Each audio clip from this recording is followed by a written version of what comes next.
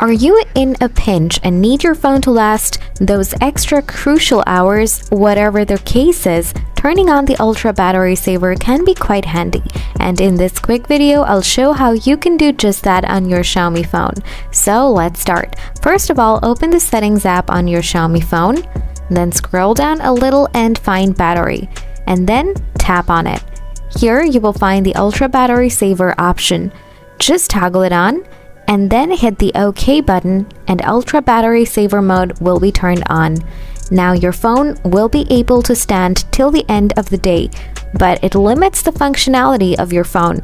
To turn it off, hit that exit button and Ultra Battery Saver will be turned off.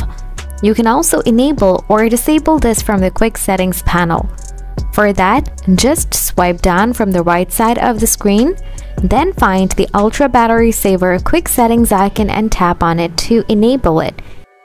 And hit the exit button to disable it whenever you want. So that's how you enable and disable Ultra Battery Saver mode on your Xiaomi phone. If the video was useful, don't forget to hit the like button. Want more Xiaomi phone related tips and tricks? Subscribe to the channel because I've got tons more coming. As always, thanks for watching and I'll catch you in the next one. Bye!